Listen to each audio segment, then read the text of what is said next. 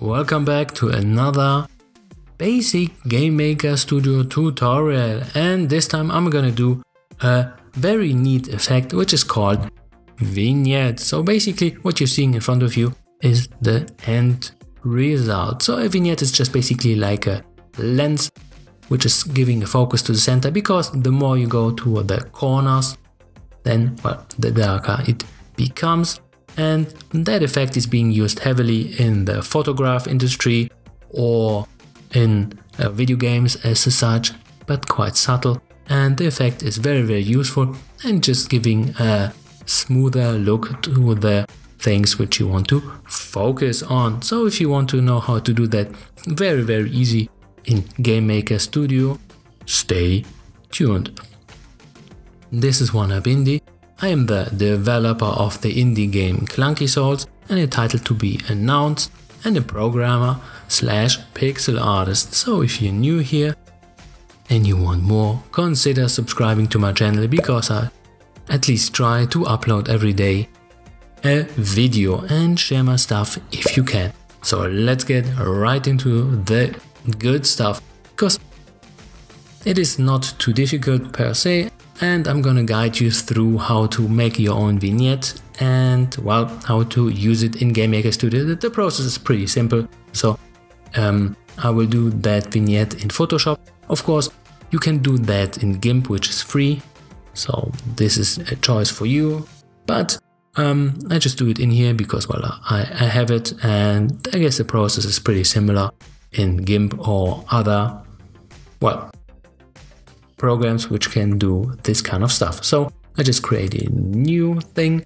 and here I have a very specific um, resolution which is uh, 256 by 144. Why that? Because that's a 16 by 9 resolution which is quite low of course if you want to have your vignette a little bit more let's call it smoother a little bit more detailed then of course you can ramp it up but I just used a very small one so this is a choice you can of course change and do as you please. So we create a new one, then we zoom in a little bit so you can see more. Make a new layer, kill the background layer because yeah, we don't need you. Then we do and fill up with a bucket, complete black screen and for now this is not special. Then we need to have view uh, your rulers, which are those things here. So let's put them on. Because now I just press uh, transform. You can I, can I don't know. You can use that here. Bam. Bam. Take your rulers. And because now because I wanted to have the middle point of the thing. Now we have a selection tool which we want to have an ellipse. And we can go from the center. But we press alt and bam you can do something like this to cut out. But I don't want to go too close to the borders because of a very specific reason. Of course I could I could do something like this to get the maximum but we're gonna do some blurring and for that we need to have some distance. So we cut it out and for now we have a well a prototype of a vignette which already looks okay but I want to smoothen out the well the process here how can we do that? Well, we go under filter, blur, Gaussian blur. As you can see, bam, play with the ruler here. And you can create your custom vignettes depending how smooth your corners are to be. Then we go OK. And export it as a PNG. So here we go, export, uh, save for web because we want to make it as small as possible then save it as a png because you can well you could use it. You can do all the other things but we need some transparency then save and yeah. And then we need to upload it to well your sprites. I guess you know how to do that so this is the thing here. Top left aligned so this is good. And now we come to the interesting part how we actually implement it. So for now let's kill it and start. Um, for now, the room doesn't have a vignette. Hopefully it starts fast so you can actually see. And as you can see, now the vignette is gone and it still looks good. But let's say the you, you like the effect you saw before.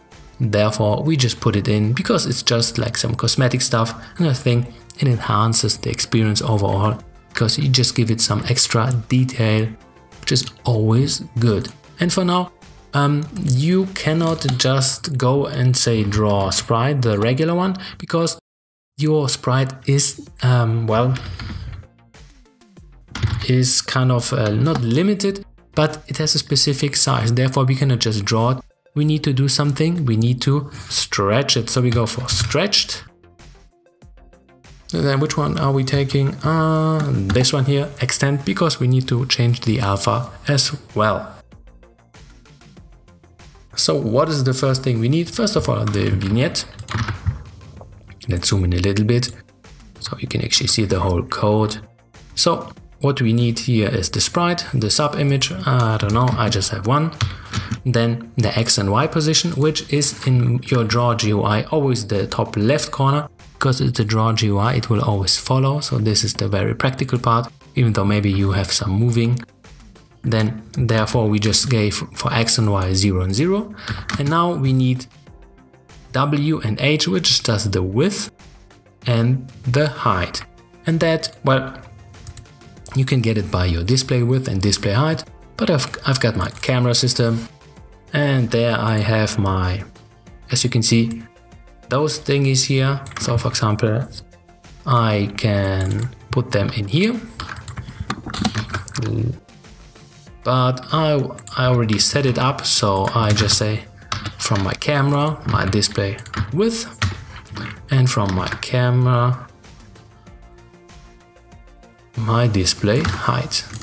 Let's kill this guy here, so I get my height. But of course you can uh, do that like this, just store it into variables and then put them in here.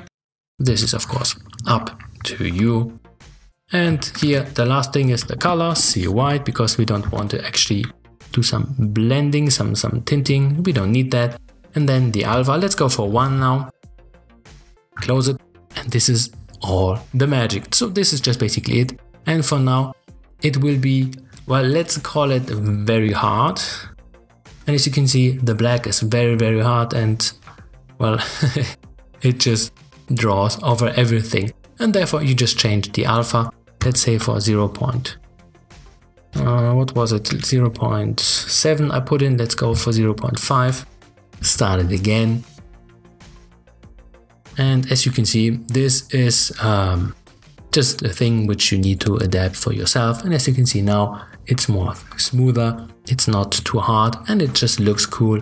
And of course, if you want to have it uh, definitely more detailed, because I've seen that in other games where the vignette is definitely, definitely bigger, then I don't know, make a, make a bigger one. And then of course you can always stretch it down or up. So that was pretty much it, of course, you can do that with um, just the last note with a shader, but eh, we just do it like this. Works pretty fine, works solidly, no problem. So that was pretty much it. Have a good one.